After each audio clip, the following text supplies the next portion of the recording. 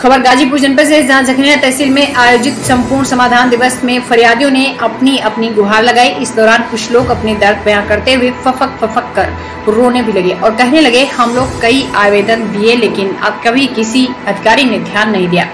ऐसा एक मामला दुल्लभपुर थाना क्षेत्र के देवा चौबे का है, जहाँ के निवासी मोहम्मद अकबर अहमद पुत्र स्वर्गीय मोहम्मद सबीर साकीन ने बताया कि मेरी लड़की 12 जनवरी 2021 समय 5 बजे शाम को गाँव के कुछ लोगों द्वारा बहला फुसलाकर अपहरण कर लिया गया। जिसके बाद हमने काफ़ी खोजबीन की, लेकिन कहीं कोई सूचना न मिलने की वजह से हम इधर उधर भटकते रहे। फिर जानकारी होने पर हम कानपुर तक पता लगाने चले गए तो पता चला लड़की को बहला फुसला कर ले जाने वाले लोगों ने ही कहीं बेच दिया है। जहाँ पर आए वाले गलौज देखकर उसके साथ मारपीट की जा रही थी, जिसके बाद वह बेहोशी हालत में वहीं पड़ी हुई मिली। मामला न्यायालय के आदेश पर दुल्हपुर थाने में पंजीकृत तो कर लिया गया, लेकिन अभी तक किसी की गिरफ्तारी या कोई उचित कार्रवाई नहीं हुई।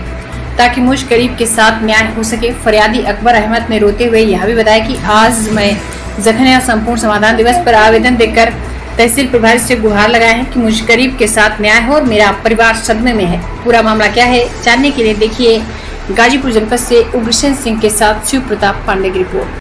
क्या नाम आपका? मेरा नाम अकबर अहमद है साहब।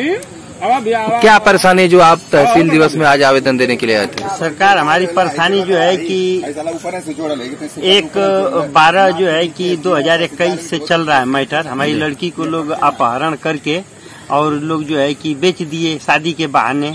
और मैं जब थाने पे देने गया एप्लीकेशन तो मेरा एप्लीकेशन नहीं लिया गया।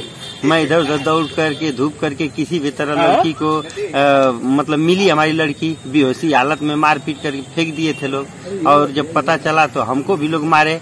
और उसके बाद जो है लड़की को हमला कर बेचू में और जो है पीजीआई चकरपानपुर और फातमा हॉस्पिटल में जो है कि आईसीयू में हमने भर्ती करवाया। और कोई सुनवाई न होने के बाद हर प्रार्थना पत्र आईडी डीआईजी साहब, महानिदेशक साहब सीओ साहब, जखनिया के हर साहब को दिया हूँ। और उसके बाद जो है कि जो है कि हम गए न्यायालय में। न्यायालय में जो है सीजीएम साहब की तरफ़ से जब आदेश हुआ, उसके बाद भी मेरा एफआईआर नहीं लिखा जा रहा था। अब जाके एफआईआर भी लिखा गया है तो फिर भी अभी तक जो है उन लोगों का गिरफ्तारी नहीं हुआ।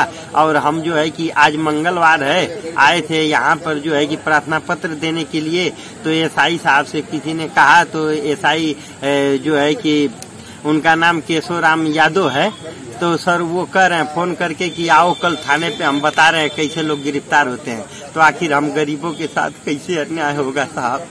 हमारी आप लोग हेल्प करें। और हर किसी के पास एक बच्ची है। हर बेटी के साथ इसी तरह होगा। हर बाप के साथ तो बताइए। और बाप का क्या होगा? हम तो खुद ही लुटे हुए हैं। हमें अगर साहब लोग मारना भी चाहते हैं तो मार लें। जो पहले से लुटा है, अब लूट कर क्या करोगे?